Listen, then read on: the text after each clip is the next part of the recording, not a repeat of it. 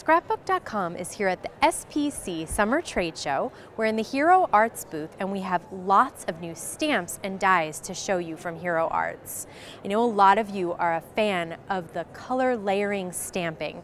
This is so much fun because you get all these different stamps in one set that layer on top of each other. Makes it look like you created a watercolor masterpiece. They have a cardinal and tree and a deer, so many different options and you can see these beautiful samples that were created. It looks like you colored these yourself, but no, it's just layered stamping.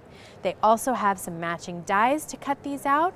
Then we have the fancy dies. These are the partially die cut paper layering dies. So what happens is you cut out with your die cut machine and look at that. It creates this beautiful dimensional textured look to your cards. So pretty. Check out the gorgeous Christmas tree.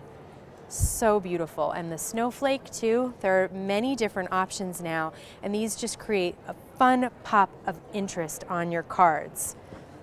There's a brand new ombre ink pad as well and this is fall colors perfect for stamping leaves. So then if we move over to the side here, we're gonna see all the brand new Kelly Purkey stamps. You have planner stamps for the holidays. So if you're planning your Thanksgiving or your Christmas, just your holiday menu, you have all of these stamps that are perfect and they fit inside any planner that you might have. Kelly has some other really fun holiday stamps as well. There's Christmas and Halloween, and then some stamps and dies all in one set. Lots of fun for creating in your planners or on layouts as well.